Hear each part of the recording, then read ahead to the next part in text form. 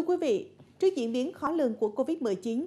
tiêm vaccine được xem là biện pháp hiệu quả và dài lâu trong cuộc chiến với đại dịch.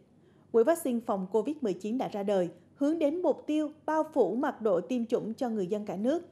Với ý nghĩa nhân văn sâu sắc, các tổ chức cá nhân, đơn vị trên địa bàn thành phố Đà Nẵng cũng đã đồng lòng ủng hộ vào quỹ vaccine. Đây không chỉ là tinh thần trách nhiệm mà còn là nghĩa cử cao đẹp của những tấm lòng vì cộng đồng. Theo Ủy ban Mặt trận Tổ quốc Việt Nam thành phố Đà Nẵng, tính đến cuối tháng 9 năm 2021, tổng số tiền ủng hộ công tác phòng chống dịch trên toàn thành phố khoảng hơn 64 tỷ đồng, trong đó đóng góp cho quỹ vaccine phòng COVID-19 là 44,7 tỷ đồng.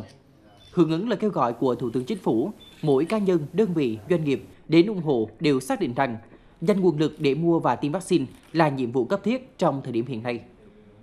Chỉ có một cách duy nhất là vaccine thì may ra có vaccine thì bắt đầu mới mới là chậm dứt hoặc là stop ờ, ngừng lại tất cả những cái ờ, mình đẩy lùi được cái dịch bệnh của covid 19 à, ờ, với cái suy nghĩ như vậy thì tôi đã à, à, kêu gọi ở tổ chức chúng tôi hỗ trợ món quà để cùng với thành phố để đẩy lùi cái dịch bệnh này. Tôi cũng mong muốn hy vọng rằng à, với cái chia sẻ nhỏ bé của doanh nghiệp thì à, cộng đồng cũng như thành phố chúng ta sẽ có thêm cái phần quỹ để À, mua và kịp thời có thể được tiêm rộng rãi tới người dân, tới xã hội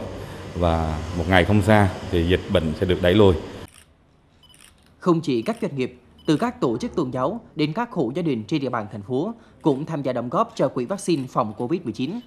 Của ít lòng nhiều, sự chung sức của những tấm lòng đã giúp Đà Nẵng nói riêng và cả nước nói chung thực hiện hiệu quả chiến dịch tiêm vaccine cho toàn thể người dân. Có thể nói rằng là người ta rất tích cực và người ta rất hưởng ứng và người ta đặt cái niềm tin vào cái lời kêu gọi và họ tin tưởng Ủy ban Mặt trận Tổ Việt Nam sẽ thành công trong lĩnh vực mà tiếp nhận, phân phối và đặc biệt đó là chúng ta dành một cái phần để chuyển sang mua cái vaccine để tiêm phòng cho nhân dân và nhân dân cũng rất mong đợi vấn đề này thì điều đó là mặt trận đang tích cực để động viên và thực hiện tốt chức năng nhiệm vụ của mình.